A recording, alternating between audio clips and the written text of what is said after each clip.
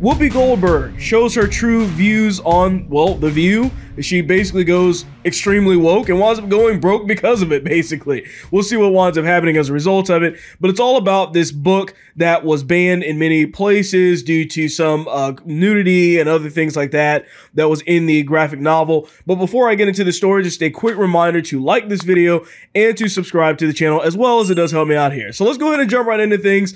Like I said, Whoopi Goldberg on The View had this very controversial thing to say, and it's specifically dealing with the Holocaust, saying that it was not about race. Now, I'm going to go ahead and show you the clip of this so you can see the context surrounding it. Like I said, this was a book that was being banned. That's how the story kind of started in the first place. But you actually have Whoopi Goldberg having this argument uh, with everybody on the desk here about what the actual reasonings were behind the Holocaust. Go ahead and check it out here.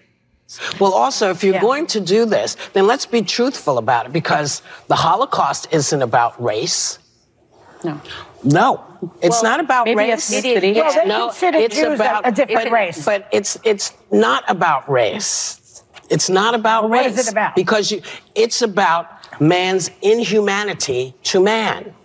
That's what it's about. But it's about white supremacy. It's well, about but it's not, it's Jews not about ideal and, race. It's, and but these are two Romans. white groups of people. Well, How do we after black they people see them as white. And they but you're missing the point. You're yeah. missing the point. Yeah. The minute you turn it into race, it goes down this alley. Let's talk about it for what it is. It's how people treat each other. It's a problem. It doesn't matter if you're black or white, because black, white, Jews, uh, it's everybody eats each other. So is it, if you're uncomfortable, if you hear about Maus, should you be worried? Should, should your child say, oh my God, I, I, I wonder if that's me? No, that's not what they're going to say. They're going to say, I don't want to be like that. Well, hopefully. I well, want to be cool. Yeah. And well, yeah, most kids, most oh. kids, they, they don't want to be cruel. No, they don't. And, and, we're living in a, you know, we're living in an era where people are, are comparing vaccine cards to the yellow stars, where people are comparing mm-hmm. vaccinations to what Anne Frank yeah. went through. Yeah. So it is necessary for kids to learn about they learn about to learn way, about man's what? inhumanity to man however it exposes itself i have to cut you off i just want to say that Maus was banned and it flew to top 20 of amazon's rules last week of yeah. charts yes people the more you ban it so basically, you have it there where she's is effectively saying exactly that. And really, what this is about, if you've seen any of the people like Ilhan Omar, anybody that's far left or anything like that, they all kind of share this actual view where they are very anti Semitic. You see this oftentimes with the way that they behave here. But Whoopi Goldberg is actually approaching this from a slightly different perspective here. What she's actually talking about, it, it makes sense to the far left. If you look at everything through the prism of the race that they are. So, for example, Whoopi Goldberg, of course, being black, she sees everything through this idea and lens of race in America. And what she's effectively doing here is trying to say, well, Jews were white too. They had the same skin color. Now, of course, that's not how Hitler felt. It didn't really matter because Hitler actually threatened the annihilation of the Jewish race in Europe. So Hitler saw it as race.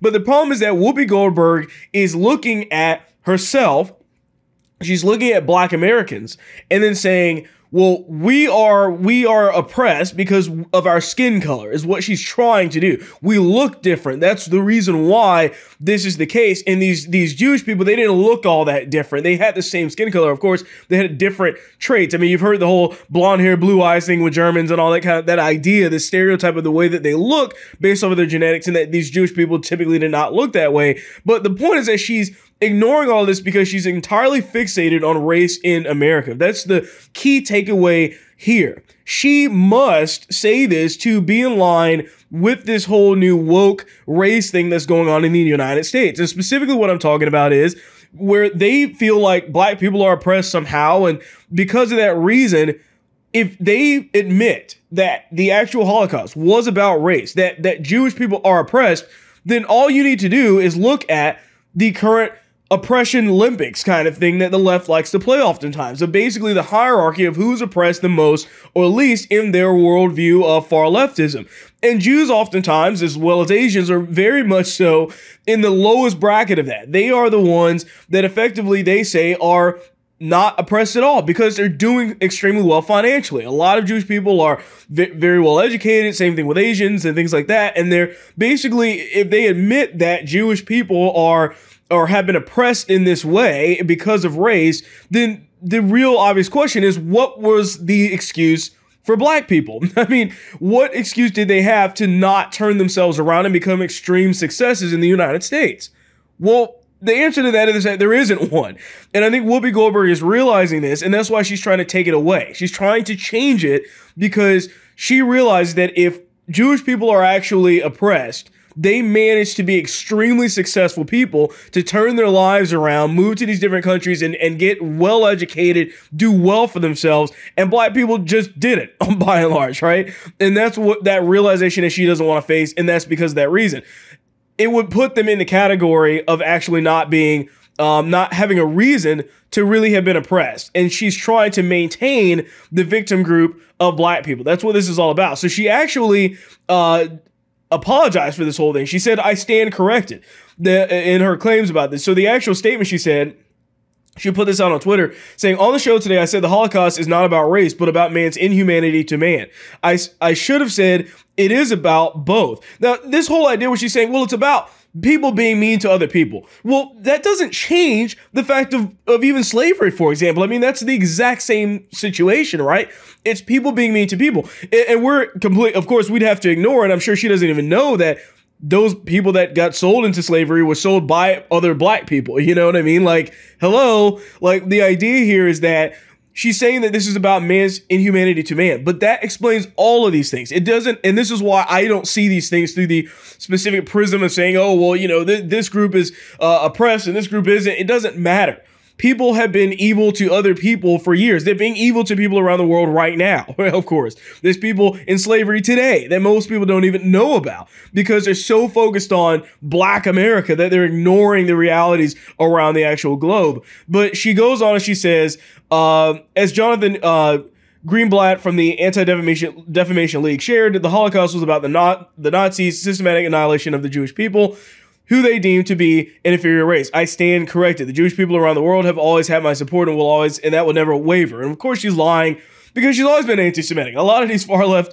wing people are, but the point is the same: is that she's trying to basically take this whole entire situation and turn it away from what actually happened and say, well, it only really counts as racism if it's skin color. If I can see that, and that's literally what she admitted. I mean, she said this uh, point blank, right? Right after the apology. Uh, so she was, uh, I guess she had a, an interview on the Late Show with Stephen Colbert, and she said, "I feel being black." When we talk about race, is a different thing to me. So she's right there saying, I don't think that being black is the same thing as being Jewish at those different times. In other words, you, you can't compare those two things. Don't compare slavery to the Holocaust. Totally two different things, what she's saying.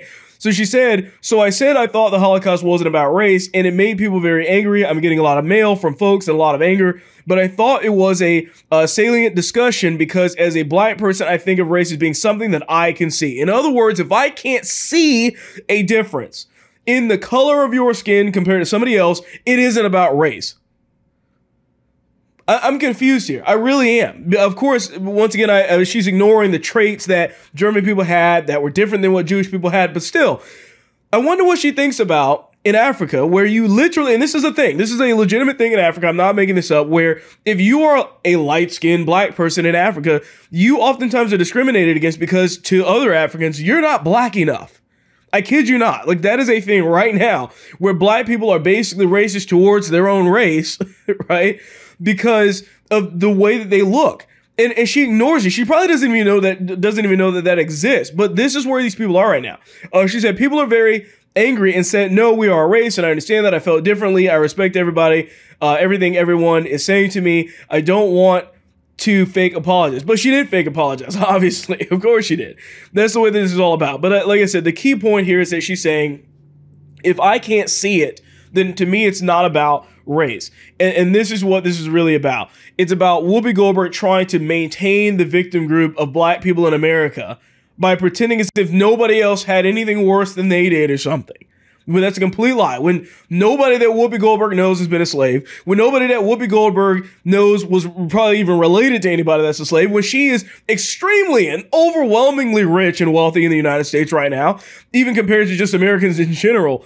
She still is trying to maintain this victim group because to her, it always has to be about that. It always has to be about that. Instead of thanking uh, the, the actual country that you live in, that you are a black woman in the United States being extremely successful, making a ton of money that has you set for life in, in an extremely nice house, I'm sure, if not multiple. So it's just crazy to me that you have these people doing this. It really just exposes them for what they really are, who they really are, and what they actually believe. This idea that if I can't see a difference in your skin color, then I don't consider that to have anything to do with race. It's just about people being bad towards other people. But to me, it's always bad when anybody's being bad towards anyone else. It doesn't matter, okay? It doesn't matter whether that's the Holocaust, slavery, or anything else. It's kind of the equivalent to some people did something that Ilhan Omar likes to talk about because she doesn't want to focus on what actually happened, the facts of the situation. That's basically what's taking place. So, with that being said, that's all I have for you on this video. I thank you for watching this one. Remember to like and subscribe to the channel as well, and I'll see you on the next one.